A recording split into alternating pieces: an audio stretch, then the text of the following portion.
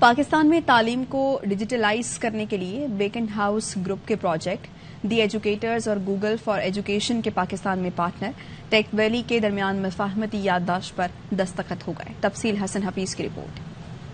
लाहौर में बिकन house group के project the educators और गूगल फॉर एजुकेशन के पाकिस्तान में पार्टनर टेक वैली के दरमियान मुफाहमती यादाश्त पर दस्तखत की तकरीब का इनका किया गया जिसमें गूगल फॉर एजुकेशन की टीम भी मौजूद थी। तकरीब में director Google for Education Colin Marson का कहना था कि हमारे अजीम शराकत दार टेक्नोलॉजी की मदद से निसाब को मायारी बनाने के लिए काम कर रहे हैं। Really,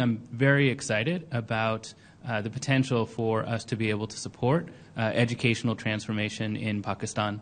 Beaconhouse के ग्रुप डायरेक्टर अली रजा ने कहा कि गूगल फॉर एजुकेशन टूल्स और टेक्नोलॉजीज़ के साथ हम अपने स्कूलों में इनकलाब बर्पा कर रहे हैं basically what we are trying to do is we are trying to partner with Google और उनकी जितनी टेक्नोलॉजी है उसकी उसको हम we'll embedded for in our schools और हमारे बच्चों के लिए हमारे इस के लिए सबके लिए we can use all the Google products in our classroom CEO Tech Valley Umar Farooq का कहना था कि टेक वैली पाकिस्तान में Google for education Google work space और इंटरप्रेन्योरशिप की सकाफत को फरोग देना है। जो बाकी मुल्कों में जो टूल्स या जो टेक्नोलॉजी इनेबल की गई है अब वो पाकिस्तान के बच्चों के लिए भी अवेलेबल होगी पाकिस्तान के इस के लिए भी अवेलेबल होगी।